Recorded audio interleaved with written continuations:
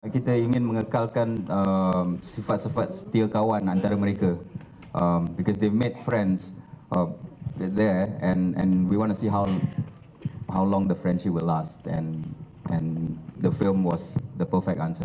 I think my uh, first and foremost is because uh, kita belum habiskan perjalanan mereka. Um, there were a lot of questions asked. What happened after Wira Bakti?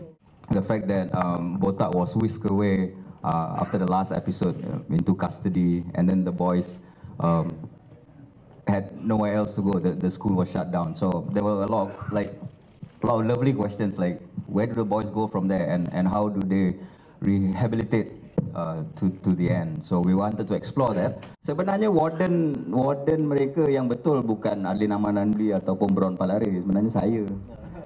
Saya sebenarnya dulu uh, ini sejarah hidup saya lah. Sejarah saya punya back story saya telah uh, berada dalam uh, askar dulu.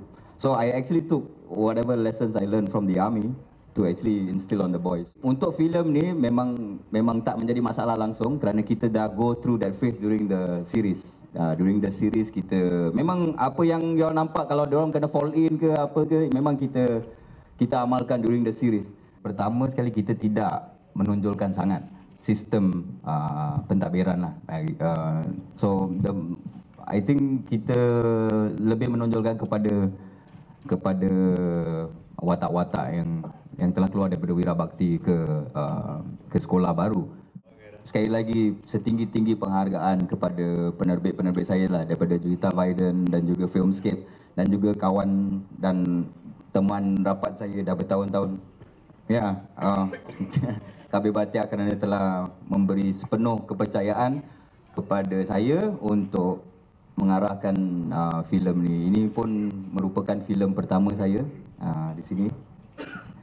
And thank you to you boys uh, for making this a very very fun, right?